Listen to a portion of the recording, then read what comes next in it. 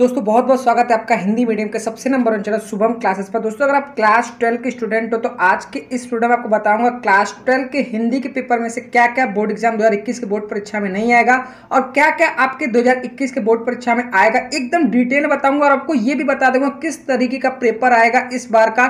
तो आप इस वीडियो को एक सेकंड के लिए स्किप मत करना। अगर आप हिंदी में नाइन्टी से स्कोर करना चाहते हैं, क्योंकि मैं पूरी प्रॉपर प्लानिंग आज के इस वीडियो में बताऊँगा तो आपसे रिक्वेस्ट है पाँच से दस मिनट निकालकर इस वीडियो को अंत तक ज़रूर देखना और चैनल को सब्सक्राइब ज़रूर कर लेना। यहाँ पर देखो, आपको जो सबसे पहले बोर्ड एग्ज़ाम से हट गया है, सबसे पहले मैं वो बता देता हूँ।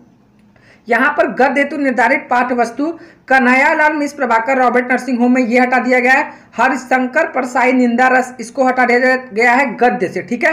काव्य हेतु निर्धारित पाठ पुस्तक से मैथिली सरल गुप्त गीत जयशंकर प्रसाद और सुमित्रानंद पंत और रामधारी सिंह दिनकर ठीक? ये आपके काव्य से हटा दिए गए हैं। वही कथा साहित्य से जो आपको निर्धारित पाठ पुस्तक से दो चैप्टर हटाए गए हैं, शिवानी और लाठी।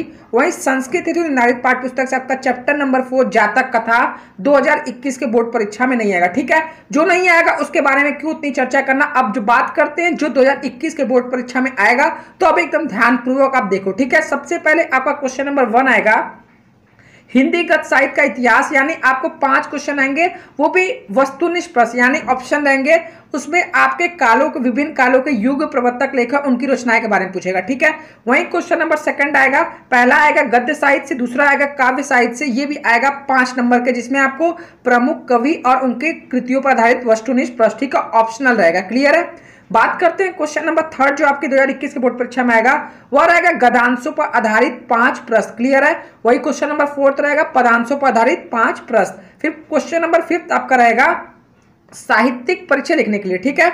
और ये रहेगा, एक पहला रहेगा, पांचवा का क रहेगा, लेखकों का साहित्यिक परिचय और ख रहेगा, कवियों का साहित्यिक परिचय, ठीक है? अभी मैं बताऊँगा इन दोनों में क्या डिफरेंस है क्लियर है?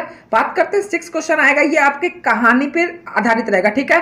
आप पाठ्यक्रम में निर्धारित कहानियों का सारांश एवं उद्देश्य पर आधारित प्रश्न रहेगा, ये भी आपके टोटल फाइव मार्क्स से रहेंगे क्लियर है? क्वेश्चन नंबर सेवन रहेगा खंड का के आधारित पर उनका चरित्र चित्रित करना रहेगा, ये भी पाँच नंबर का रहेगा। तो इस तरीके से आपके खंड क में टोटल सेवन क्वेश्चन आएँगे, ठीक है? फिर आपका लागू हो जाएगा खंड का जो पचास अंक का रहेगा। इसमें क्वेश्चन नंबर एट का पहला क्वेश्चन रहेगा। निर्धारित संस्कृत गद्य का संदर्भ सहित हिंदी में अनुवाद और ख रहेगा पद का, ठीक है? एक गद्य का संदर्भ सहित हिंदी में अनुवाद आएगा एक पद का, ठीक है? दोनों सेवन सेवन मार्क्स के आएँगे, यानी चौदह मार्क्स का ये रहेगा गद्य पद से संस्कृत में हिंदी में अनुवाद। क्लियर है? क्वेश्चन नंबर नौ आएगा। लोकोक्तियाँ एवं मुहावरों के अर्थ एवं वाक्य प्रयोग। क्लियर है? फिर दसवां क्वेश्चन आपका ग्रामर से आएगा जो संधि रहेगा ठीक है? संधि दीर्घ संधि गुड़ संधि यड़ संधि इनमें से किन्हीं तीन संधियों संबंधित संधि विच्छेद करना रहेगा। सं, संस्कृत शब्दों में विभक्ति की पहचान करने के लिए दो नंबर का आएगा।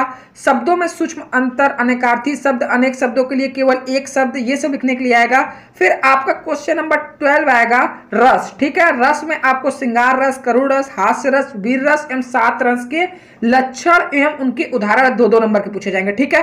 फिर आपका पूछेगा अलंकार, ठीक है? अलंकार का आपको लक्षण एवं उदाहरण पूछेंगे, फिर आपको पूछेगा छंद भी आपको दो नंबर का पूछेगा, ठीक है? रस, छंद, अलंकार, दो प्लस दो प्लस दो, छह मार्क्स के ये पूछे जाएँगे। फिर क्वेश्चन नंबर थर्टीन आपका आएगा पत्र लेखन ठीक है? आपको पत्र लेखन करने के लिए आएगा जो छह मार्क्स का रहेगा और क्वेश्चन नंबर 14 आपका रहेगा निबंध से, ठीक है? तो ये टोटल आपके 2021 के बोर्ड परीक्षा में जो जो आएगा, मैंने वो बताया। यहाँ पे आप स्क्रीन शॉट ले लो कि आपके किस किस जैसे गद्य से निर्धारित ये चैप्टर्स आपके बोर्ड एग्ज़ाम में पूछे जाएँगे, ठीक है? वहीं पर काव्य से निर्धारित इधर जितने भी चैप्टर्स है, वो आपके इस बार के एग्ज़ाम में आएँगे। फिर यहाँ पर कथा साहित्य के निर्धारित ये तीन चैप्टर आपके आएँगे। ध्रुव यात्रा पंचलाइट बहादुर क्लियर है? और इधर आप ले सकते हो खंड का से जो आपका ये सहायक पुस्तक है मुक्ति युग खंड का और सत्य की जीत। ये आपके रहेंगे, फिर आपका कहानी रहेगा और आपके जो संस्कृत रहेंगे, इसमें से ये सेवन चैप्टर, ठीक है? भोज्यास दार्यम आत्मक एवं सर्वज्ञ संस्कृत भाषा महत्वम, सुभाषित रत्नानी, महामना मालवीय, पंचशील सिद्धांता, ठीक है? ये टोटल आपके सिलेबस है 2021 बोर्ड परीक्षा के लिए, ठीक है? तो मैंने जैसे जैसे बताया और इसमें से मैं एक एक टॉपिक आपको क्लियर करते चलूँगा तो आप चैनल को सब्सक्राइब करके रखो, क्योंकि ये यूट्यूब के हिंदी मीडियम का सबसे नंबर वन चैनल है। यहाँ से पढ़ाई करके काफ़ी छात्र नाइन्टी परसेंट स्कोर किए सभी का प्रूफ आप डिस्क्रिप्शन में टॉपर लिस्ट में जाकर देख सकते हो। तो अगर आपको हमारे साथ जुड़ना है, अगर आप नाइन्टी से स्कोर करना चाहते हो तो आप हमारा टॉप हंड्रेड बाय ज्वाइन कर सकते हो, ठीक है? इसमें आपको सभी सब्जेक्ट की कंप्लीट तैयारी कराई जाएगी। 2021 बोर्ड परीक्षा के सिलेबस के अनुसार लेसन वन से, ठीक है? और सभी सब्जेक्ट की तो आप गूगल प्ले स्टोर पर सर्च करोगे, शुभम क्लासेस ऐप तो वो आ जाएगा तो उसको डाउनलोड करके आप वहाँ से बहुत सारे फ्री स्टडी मटेरियल भी डाउनलोड कर सकते हो, और साथ में वहाँ से बैच भी ज्वाइन कर सकते हो। लेकिन अगर आप ऑनलाइन पेमेंट नहीं कर सकते हो तो आप हमारे व्हाट्सएप नंबर सत्तर सेवन डबल ज़ीरो नाइन। इस पर व्हाट्सअप करोगे कि सर हमें आपका टॉप हंड्रेड में ज्वाइन करना है क्लास ट्वेल्व के लिए तो आपको जैसे ही आप पेमेंट करोगे स्क्रीन शॉट भेजोगे, आपको पंद्रह मिनट के अंदर बैच जोड़ दिया जाएगा। पूरे साल की फ़ीस सभी विषयों के लिए पाँच सौ निन्यानवे रुपये भी ऑफ़र चल रहा है तो आप इसमें ज्वाइन कर सकते हो। और इतना तो आप एक महीने के ऑफलाइन कोचिंग की एक सब्जेक्ट दे देते हो, ठीक है? तो अभी आपके पास सुनहरा मौका है, आप घर बैठे ज़बरदस्त तैयारी कर सकते हो। तो अगर आपको जुड़ना है तो हमारे व्हाट्सएप नंबर कॉन्टेक्ट कर सकते हो। और ये था आपका पूरा सिलेबस और ऑलरेडी मैंने सभी विषय का सिलेबस का वीडियो बना दिया था और डिस्क्रिप्शन से प्लेलिस्ट जाकर सभी विषय का देख सकते हो, ठीक है? आई होप ये वीडियो पसंद है वीडियो पसंद है लाइक और शेयर ज़रूर करें। आज के लिए इतना मिलते नेक्स्ट वीडियो में तब तक के लिए जय हिंद जय भारत।